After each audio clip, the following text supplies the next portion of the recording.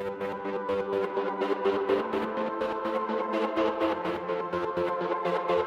you.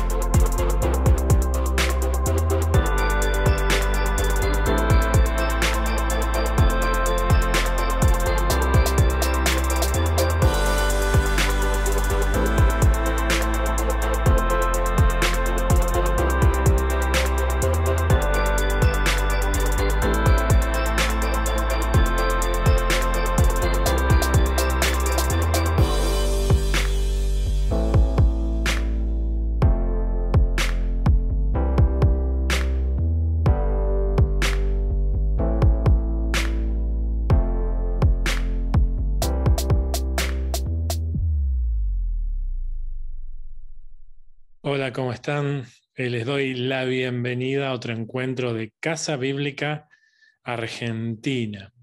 Qué bendición poder compartir la palabra de Dios.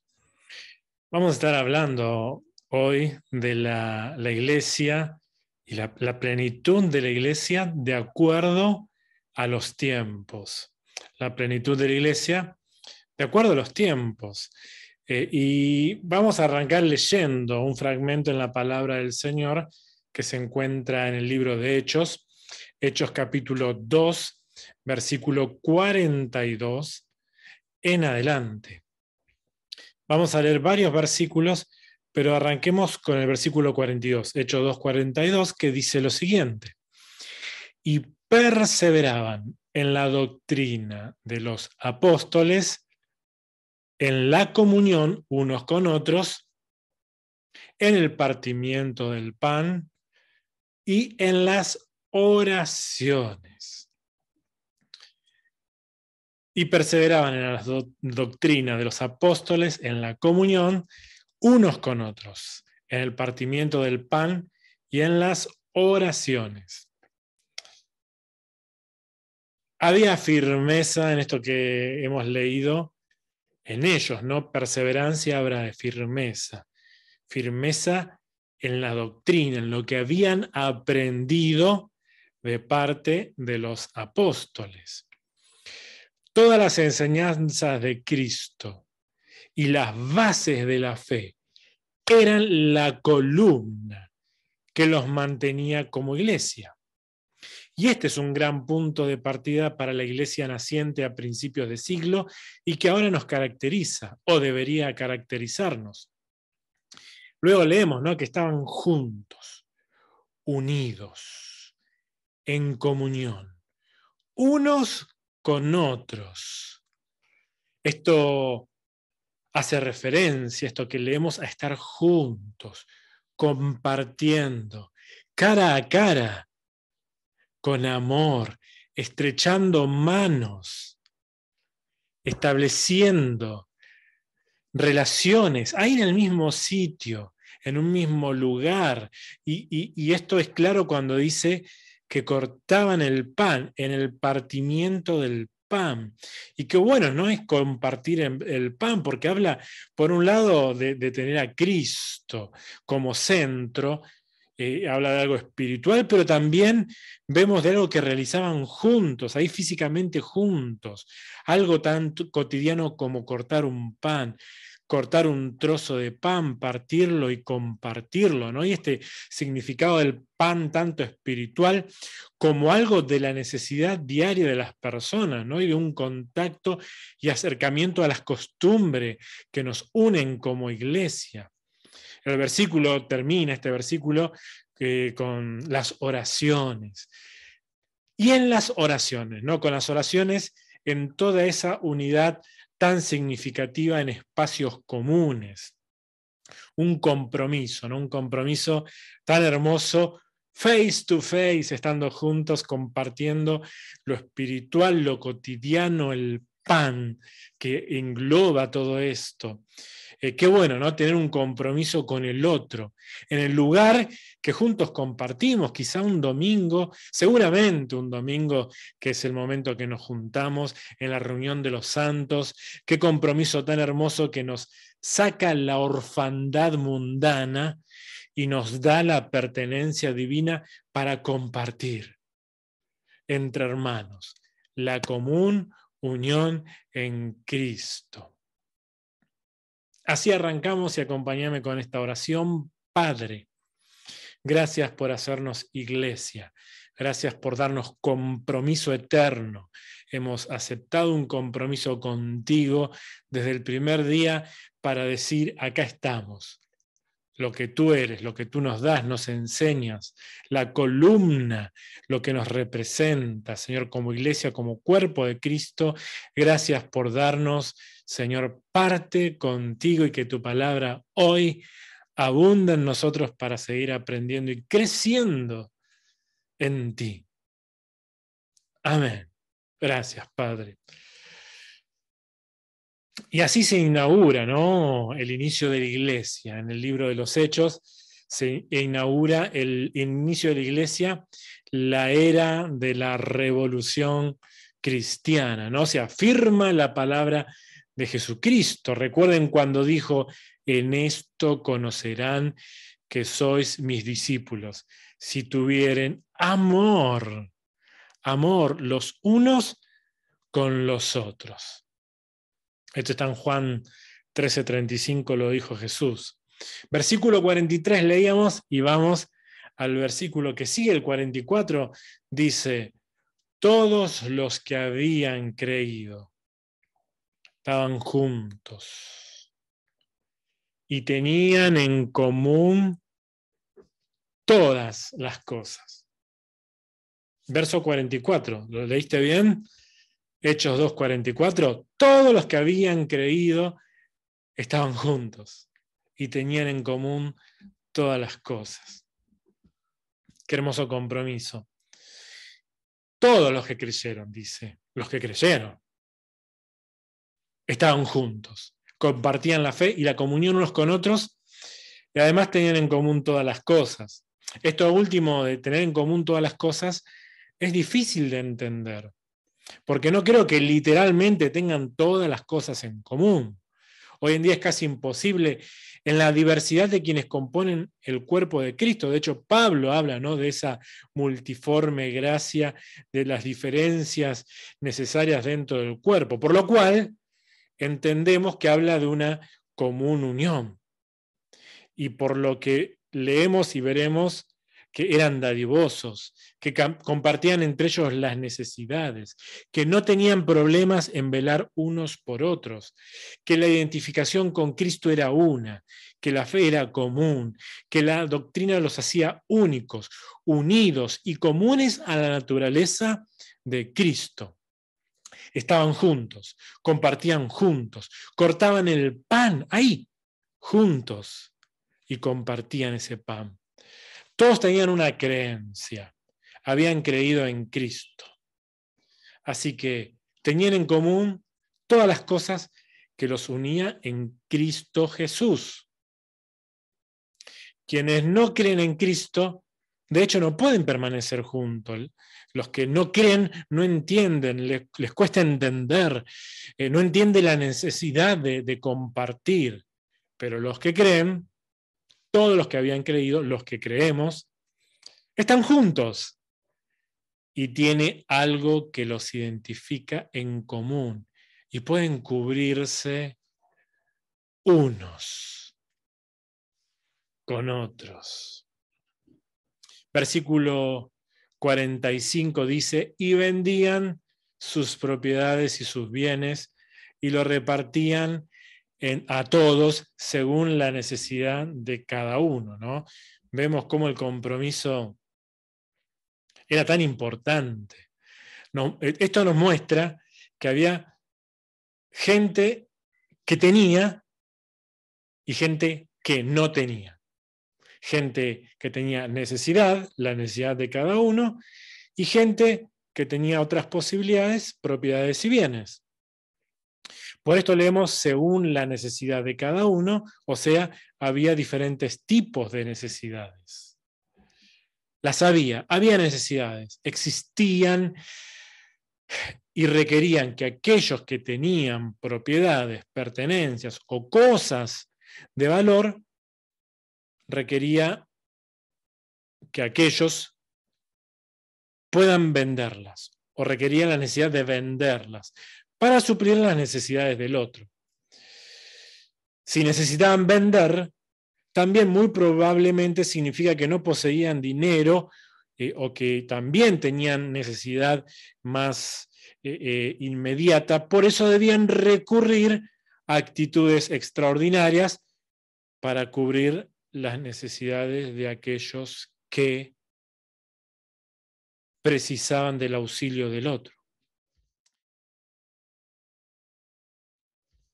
Ahora, cubrir las necesidades, las necesidades de quienes. Como hemos leído, ellos recurrían a una acción extraordinaria porque quizás no contaban con, con, dinero físico o con, con, lo necesario para cubrir inmediatamente, pero como les quedaba propiedades, las vendían. Ahora, ¿a quiénes cubrían? y como leímos recién, a los que perseveraban en la doctrina, a los que participaban de la comunión, a los que participaban del pan, a los que participaban de las oraciones, de los que habían creído, de los que permanecían juntos cuando se reunían a adorar y compartir. Es decir, había necesidad que era necesaria cubrir. había necesidad. Las realidades iban cambiando, eran distintas en un momento u otro.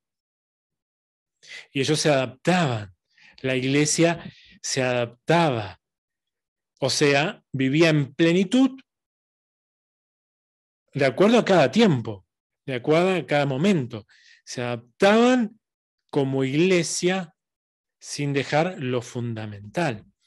Por eso, si bien nos muestra que había necesidad y que la realidad era la necesidad que había, que por lo pronto había que vender posesiones a aquellos que sí las tenían para compartir con aquellos que no la pasaban tan bien o mejor dicho, estaban peor que los demás, pero ojo, no compartían con cualquiera por el solo hecho de compartir, sino que eran sensibles con la comunidad de fe y, que de aquellos que, eh, que participaban de estos requisitos tan hermosos, tales como perseverar en la doctrina, participar en la comunión, en la reunión de los santos. Estoy diciendo lo que leí recién en los versículos, de los que participaban el pan, del pan y de las oraciones, una fe intacta, un ánimo para estar juntos, eh, en compartir en esas reuniones de adoración, cuando estaban eh, juntos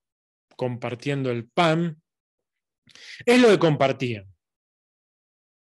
Y los que los unía, según leemos. Y entre ellos cubrían, de acuerdo a cada momento, la necesidad, ¿no? Y esto era la relevancia, y esto es lo relevante de vivir los tiempos, entenderlos y cubrirse unos con otros. La iglesia viviendo a plenitud de acuerdo a la vida de Cristo y de esta doctrina hermosa de los apóstoles. Amén. Qué hermoso compromiso, ¿no? En la ciudad disfrutaban la fe. Pero en la economía no la pasaban tan bien quizá, pero justamente había un compromiso para la realidad. Leamos, ¿no? Hechos 11, del 27 al 30, Hechos 11 del 27 al 30, dice, en aquellos días unos profetas descendieron a Jerusalén, de Jerusalén a Antioquía, y levantándose uno de ellos, llamado Agabo, daba a entender por el Espíritu que vendría eh, un gran hambre en la tierra habitada, lo cual sucedió en el tiempo de Claudio. Entonces los discípulos quisieron, cada uno conforme a lo que tenían, determinaron enviar socorro a los hermanos que habitaban en Judea, ahí en, en Jerusalén y en la zona de Judea. Lo cual en efecto hicieron, enviándolo a los ancianos por mano de Bernabé y de Saulo. Las realidades cambiaban, pero el compromiso se adaptaba al tiempo, a los tiempos. La plenitud de la iglesia de acuerdo a los tiempos, obrando con entendimiento. En 1 Corintios 16, 1 al 4, 1 Corintios 16, 1 al 4, dice, en cuanto a la ofrenda para los santos, dijo Pablo, escribió, ¿no? Hagan ustedes también de la manera que ordené a las iglesias de Galacia. Cada primer día de la semana, cada uno de vosotros, ustedes pongan aparte algo. Todas las semanas aparten.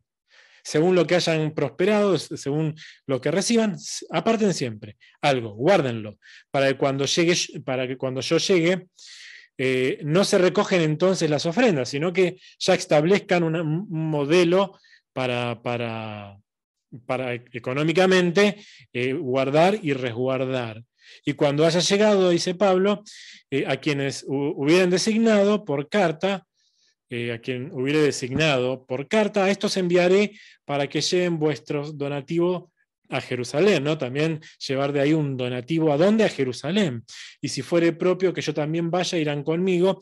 Pablo no eh, sigue dando instrucciones de acuerdo a cómo estaba sucediendo en la iglesia general para que cada vez que se unían, porque se reunían, estaban juntos, compartían el pan, eh, estaban juntos los, el día del Señor, el día domingo, el día que habían destinado, ahí juntaban, ofrendaban y se ponían de acuerdo para hacer partícipes a los que no le estaban pasando bien, por ejemplo, en Jerusalén.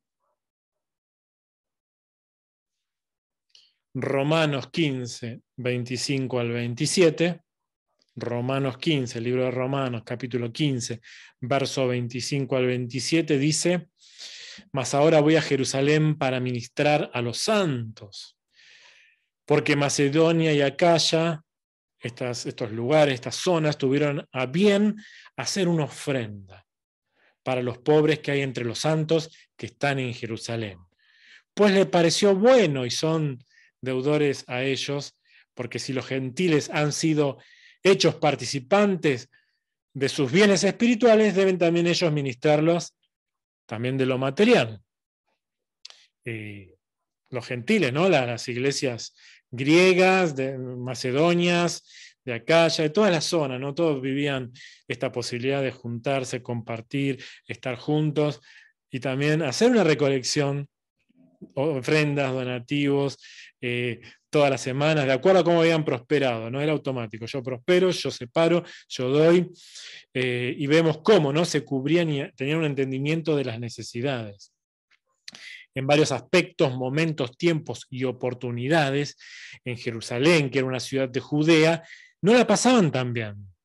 Y más adelante sufrieron, sufrieron una de las peores persecuciones de la historia.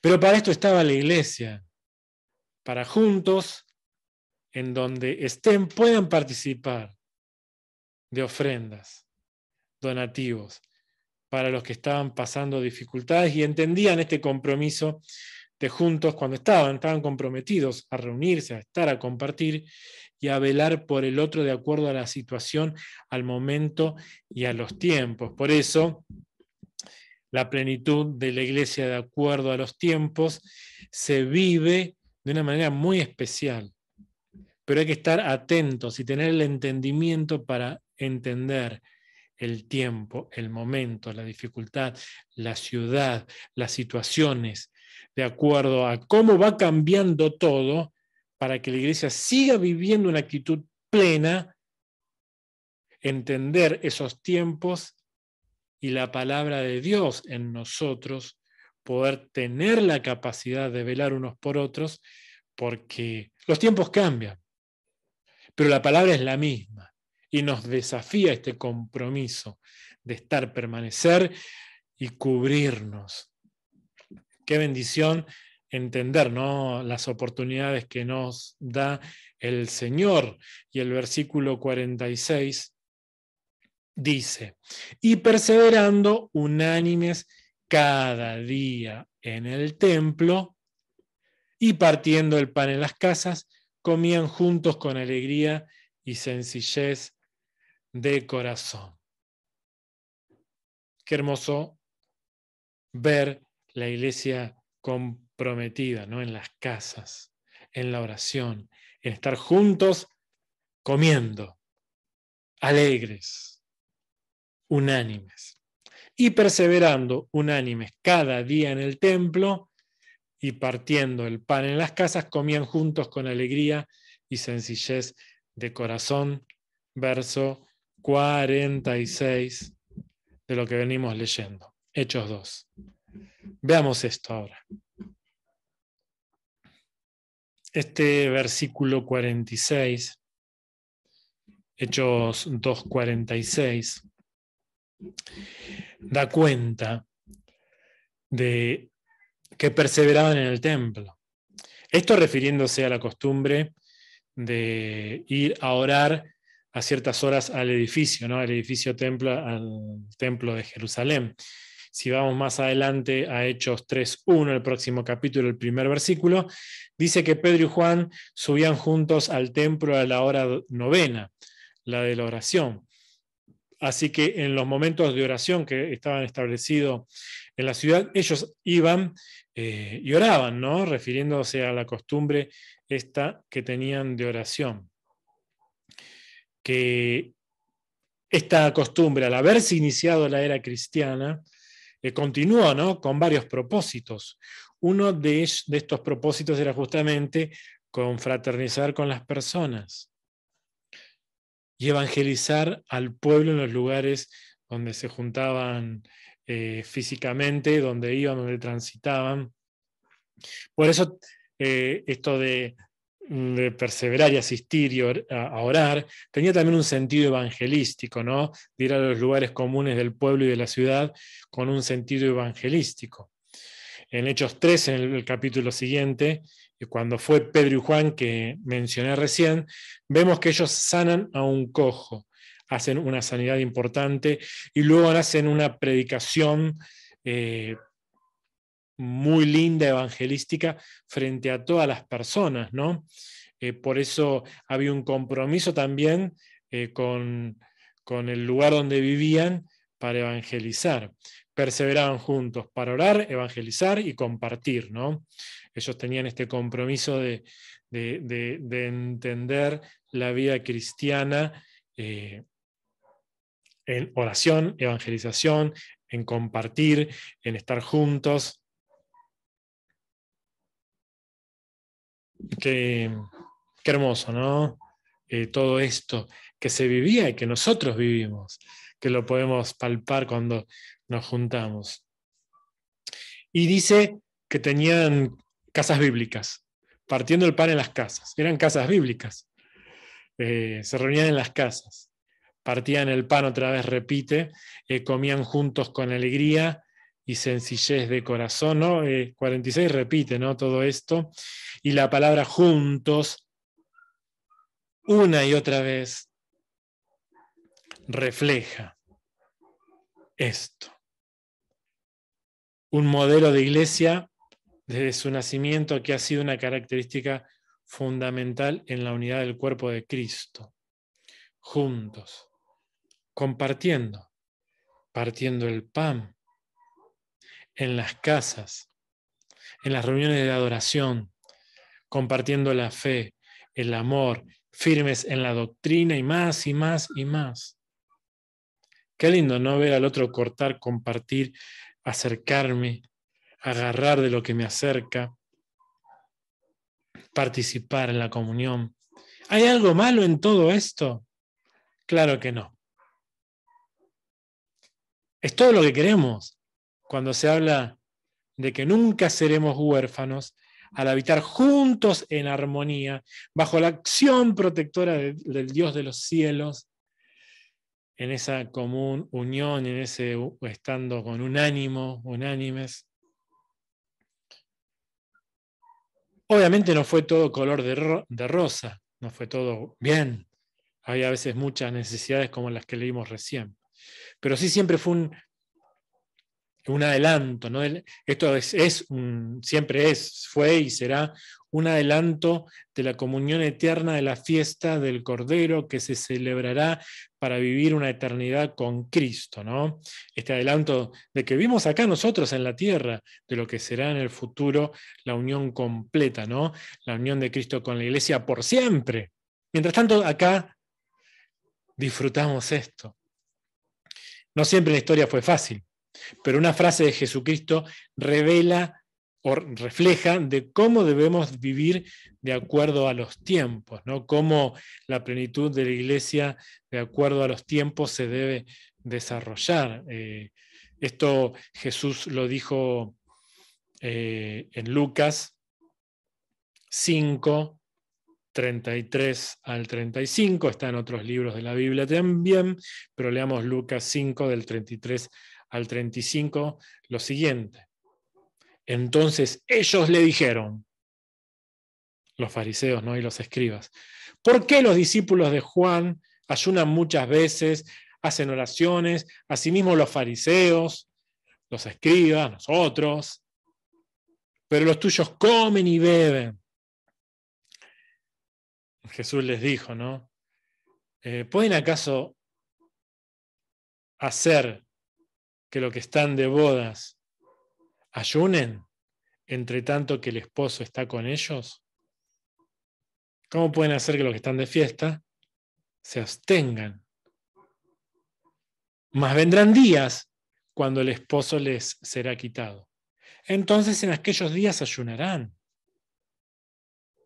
Jesús en esta declaración responde a la interrogación de los escribas y los fariseos. Ellos le dijeron a Jesús, nosotros nos sometemos a ayunos constantes y oraciones, sometemos a nuestros cuerpos muchas veces a abstenciones y ustedes, por Jesús y sus discípulos, comen, beben.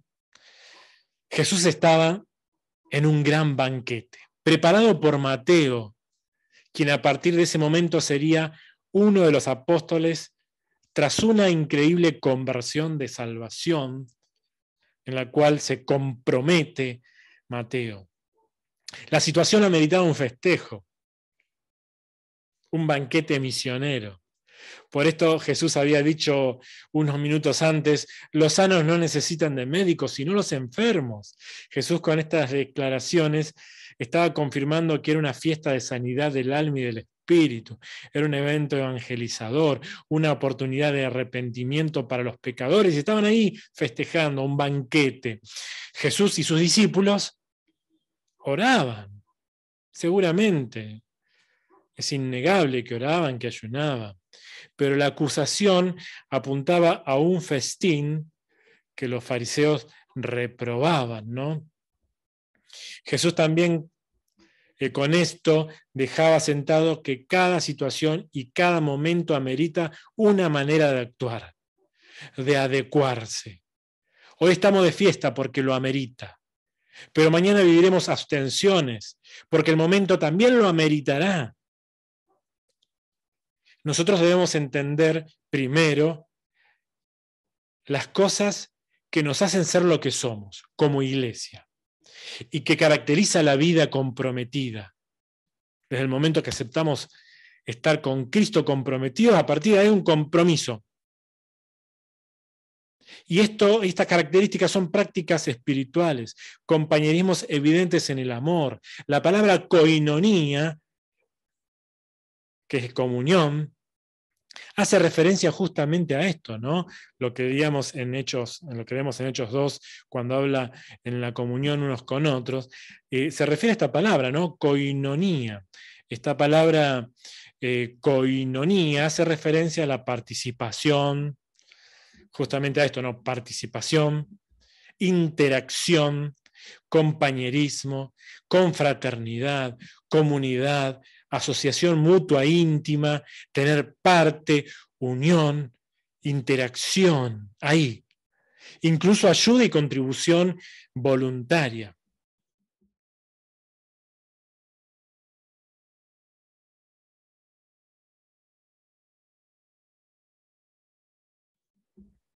Jesús habla de vivir a plenitud y de manera coherente de acuerdo a los tiempos.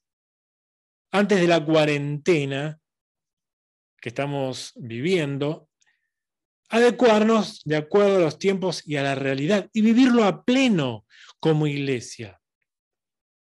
Durante la cuarentena, adaptarnos, abstenernos de muchas cosas, quizá, como lo hemos hecho, y vivir de acuerdo a la nueva realidad y haciendo una lectura espiritual de, de los tiempos y vivirlo a pleno como iglesia. Con los incendios en corrientes, revisar la situación de la iglesia y colaborar con temor a Dios de acuerdo a una calamidad forestal con nuestros hermanos. Con el conflicto internacional en torno a Rusia y Ucrania, tener una mirada actual e íntegra y vivir de acuerdo a los propósitos de la Iglesia en Cristo Jesús para cada momento, pero nunca dejar de vivir la plenitud de la Iglesia de acuerdo a los tiempos, nunca desaprovechar los momentos. Es ahora vivirlo a pleno, la plenitud de la iglesia de acuerdo a los tiempos.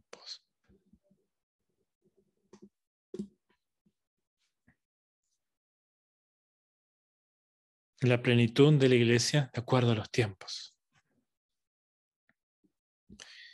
Hoy en Argentina tenemos una gran posibilidad actual que debemos aprovechar. Y los animo para que no perdamos la oportunidad de vivir en plenitud, la vida en plenitud de la iglesia, de acuerdo a estos tiempos. Es decir, perseverar en la doctrina, participar de la comunión en la reunión de los santos, participar e interactuar en la confraternidad, asociándonos en el invaluable compañerismo, participar del pan y las oraciones, vivir con fe, una fe intacta y tener ánimo para estar juntos, para compartir en las reuniones de adoración. Es hoy y hoy es el tiempo. Mañana será otro. La fiesta de la iglesia de hoy, hoy es una. La de mañana será otra. La del pasado fue otra.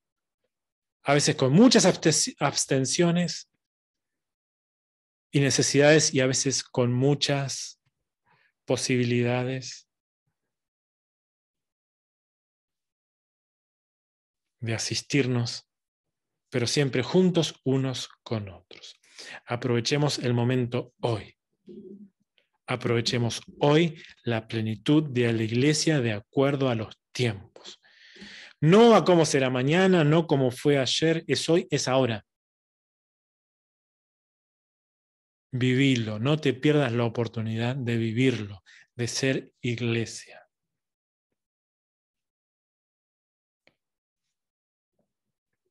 Vamos a orar al Señor y te animo, ¿no? A todo esto. Si no perseveras en la doctrina, si no participas de la comunión, si no partís el pan, si no participas de la oración en la fe, un Dios, un espíritu, una fe, un bautismo, posiblemente no entiendas.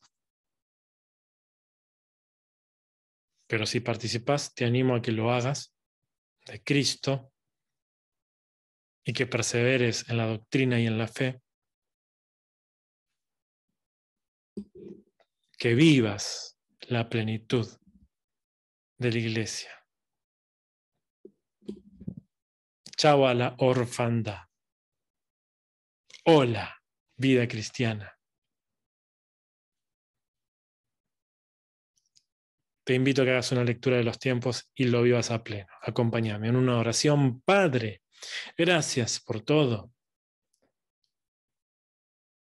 Ayúdanos a entender los tiempos y poder vivir plenamente como iglesia de acuerdo a la actualidad. Y poder, Señor, unos con otros en esta iglesia global, en la iglesia local y en todo lo que tú nos presentes para este tiempo, vivirlo a plenitud e interceder unos por otros y fortalecernos unos con otros y poder afirmarnos en la doctrina, en tus enseñanzas, en la fe, en la común unión, en el partimiento del pan, en las oraciones, en la fe, en el amor, en la confraternidad, y en todo lo que tú nos depares, para cada tiempo. Y que vivamos de manera trascendente, para que el mundo conozca quién eres tú a través de nosotros en nuestro modelo hermoso de vida. Y que podamos estar apreciando aquel banquete que viviremos eternamente, podamos apreciarlo hoy, ese adelanto hermoso de lo que tú tendrás para una victoria eterna. Ayúdanos, Padre, en tu nombre, Jesús. Amén. Amén. Amén. Dios te bendiga y que tu situación, tu momento, tu vida tenga una lectura espiritual para poder vivir una plenitud como iglesia, de acuerdo a los tiempos. Dios te bendiga. Te dejo un gran saludo. Dios viene pronto. Amén.